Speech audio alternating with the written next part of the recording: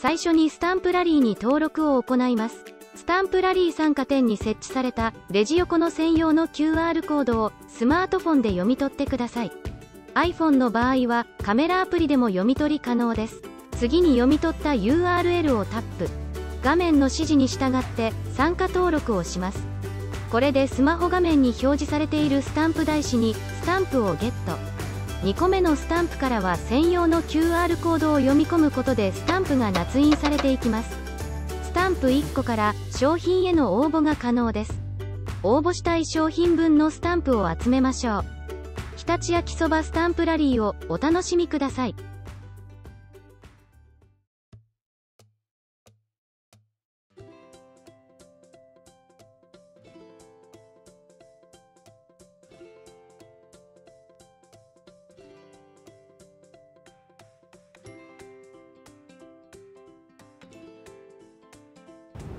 大宮管内で収穫されたそばはすごく粘りがありますね。味も香りも他のそばにはないものだと思います。同じ焼きそばでも粘りがある。打ちやすいですね。で粒がとてもあの揃ってますよね。そういう特徴を持ってるんじゃないですかね。いろんなそば粉をね味わって使ってみましたけども私は山形の農協で引いてますがちょっと粗いんですよね。その粗い粉がやはりね味をこう秘めてるんじゃないかと思います。味がすごくこうね香りなんかも残ってるんですよね。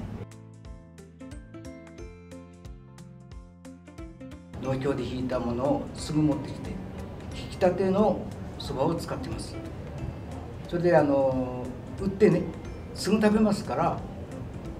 だから引いた引きたで打ちたで茹でたで三たでのおそばを食べてるからここで食べるのはもう最高なんですよね。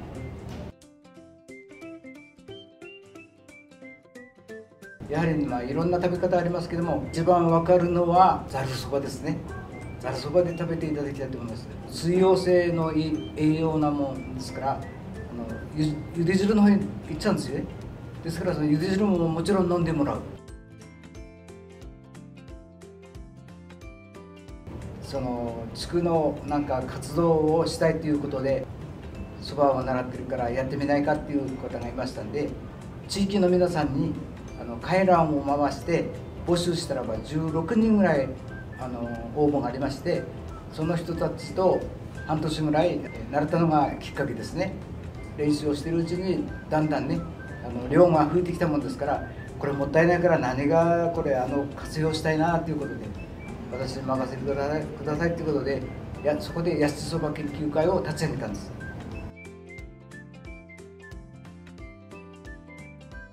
常陸大宮へ来たらば何はともあれねお蕎麦を食べて元気にね生活できるようにそして美味しかったという味わいをね皆さんに伝えていただきたいと思います。常陸焼きそばは粘りがあり香りがありね喉越しがいい本当に美味しいお蕎麦です。ぜひ食べていただきたいと思います。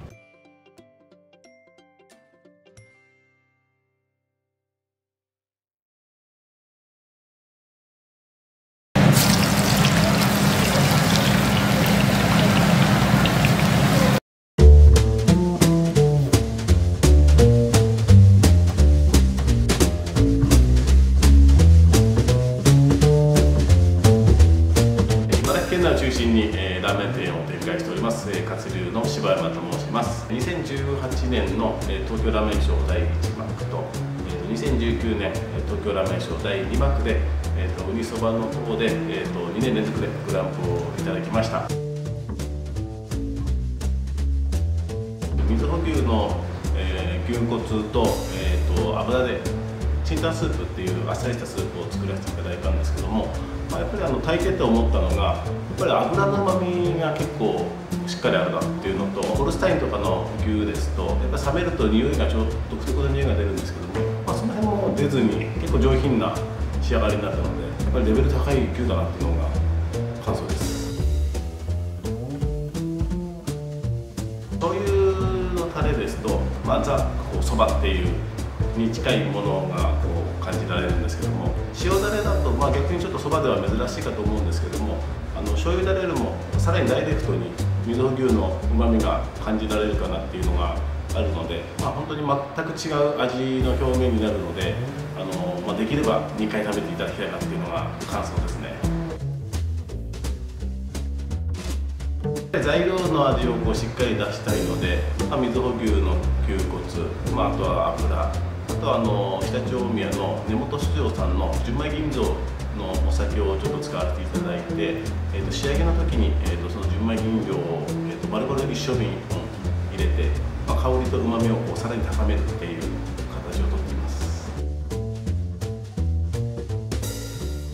あのあっさりのスープですと、まあ、大体3時間4時間で普通出来上がるんですけども、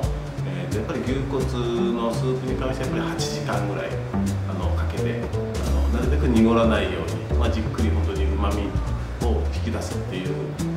えーとまあ、ちょっとやっぱりコツがいるなっていう素材になりますね。